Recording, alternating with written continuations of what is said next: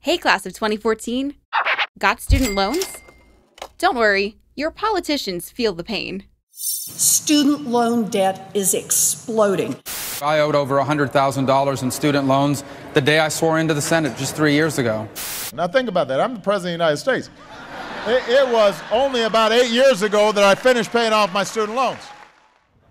41 members of Congress reported they still had student loan payments in 2012 for either themselves or their families.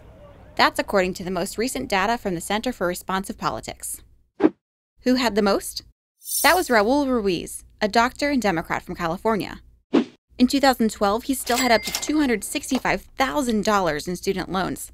That's 10 times the debt this year's average grad will face. Over in the Senate, Republican Mike Lee and Democrat Chris Murphy both reported they were still paying for diplomas too, up to $115,000 between them. Altogether, there are 40 million Americans dealing with student debt, and that comes with a price $1.2 trillion. So, what's Congress doing about it? One of the newest plans comes from Massachusetts Senator Elizabeth Warren.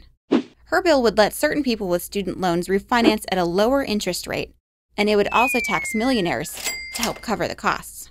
We should cut those interest rates and we should cut those government profits.